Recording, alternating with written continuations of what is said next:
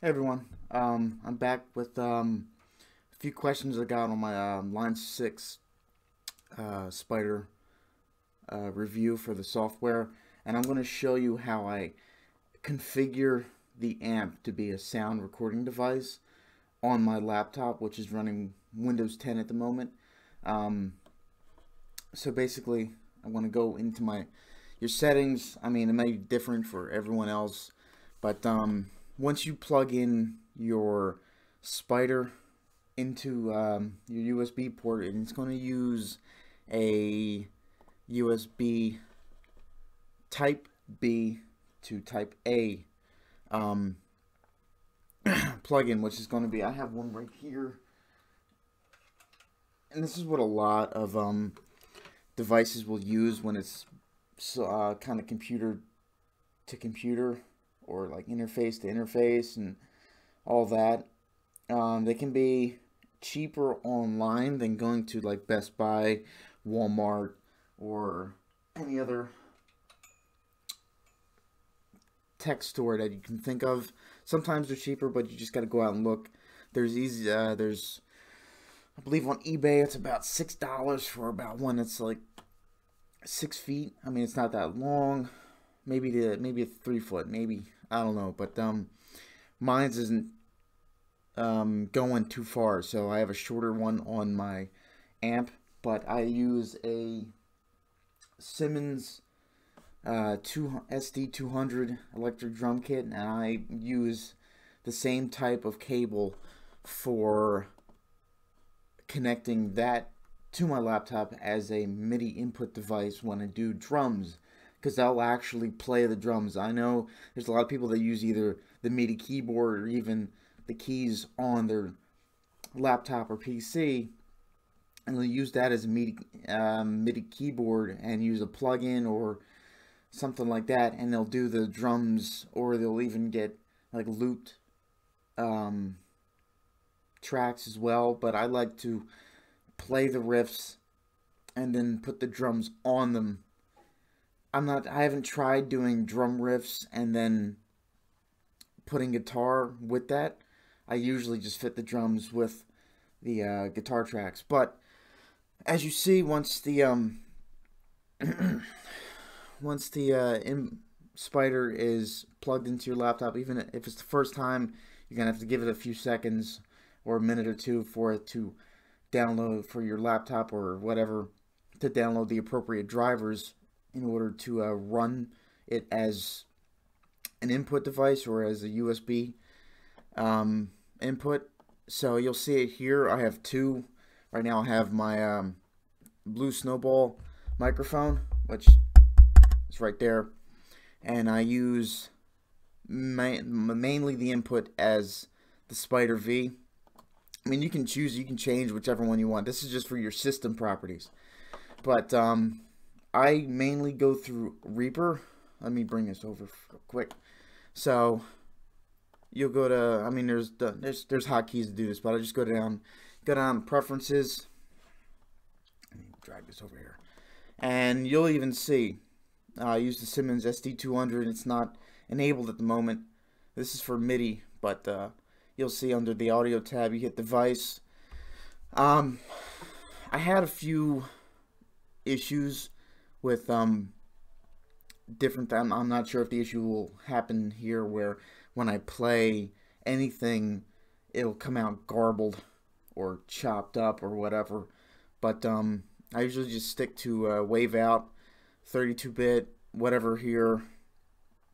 At least I try to. I'm, I'm, messing with the settings constantly with Reaper and it's not too friendly with this. I mean, you'd probably have a little bit easier time just downloading um, different plugins and stuff and using an interface like Focusrite or or something like that, which I do have for a bass, but I don't really play that as much.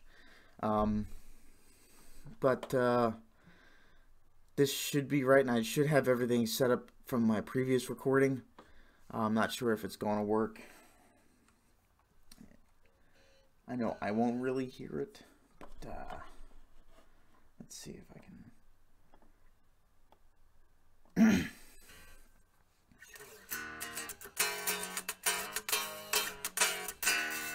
and it'll tell you, you know, if there is input going in, and you have to have it armed and the correct input for the Reaper configuration.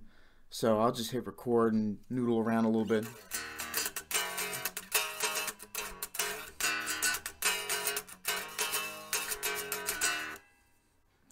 Let's see, it might sound terrible, who knows.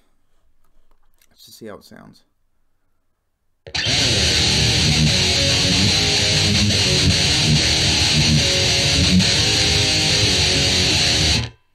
That sounds pretty good, right? I did change a little bit of a few settings on uh, my preset here. I just noodled around with a lot of different EQs and stuff and uh, different aspects like really with the amp and everything. I down I dubbed down the early refraction reflections and I think I lowered the presence and a few other things. I just messed around with it to find a little bit of a better tone. But um but that's that's pretty much how it's configured. Um, you're you might be a little different, so you might have to try and search uh, for forums online with Line 6 to see how it can be configured as this. But this is how I'm configured. I use it as a input device for recording. So, um, that's pretty much it. Um, a few another question was asked if you can edit, you know, different like the preset drum tracks or anything like that, but you can't but I will link a forum where you can read and Line 6 is looking to add that to later amplifiers, but right now I'm, there's nothing you can do with um, the drum loops or anything like that because it does have drum loops. Uh, I'm not sure if you can hear it. Nah, I'm not gonna play it, but it does have like um different grooves from metal to rock to slow to jazz to all this different thing. At least each drummer has its own little loop for it, so you can play some riffs over it. Um, but that's all I can say right now. But this is um pretty much how this works. Uh, as far as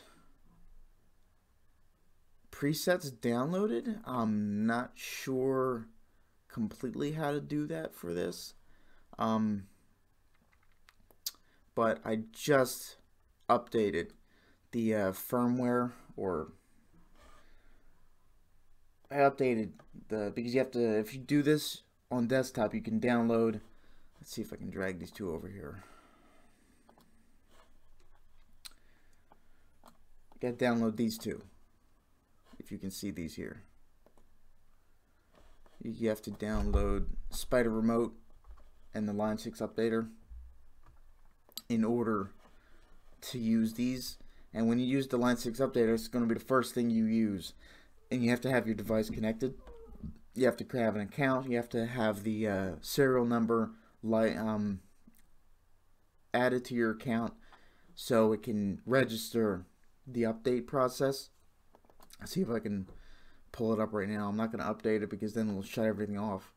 Um, if it loads, if it wants to load.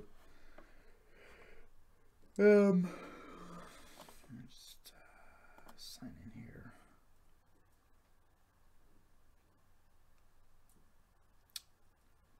takes a second.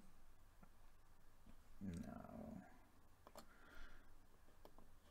Uh, I'm not sure why the device didn't um, register in here, but it'll it'll have your device listed, and you can have multiple ones. But this is basically what it is. I don't know why it's not listed. This is a little bit of a bug. I'm not sure if because it, they're always putting new versions of it out, so when it comes to that, you're just gonna have to look at the website, or even it'll tell you when new versions are available. Not so much the uh, remote, but everything else is pretty pretty solid for this. So, hope everyone enjoyed this video. If you have any questions, I will try to answer them, even if I have to do research on it. So, um, thank you very much. Hope you enjoyed the video. Like, subscribe, share and um, see you in the next one.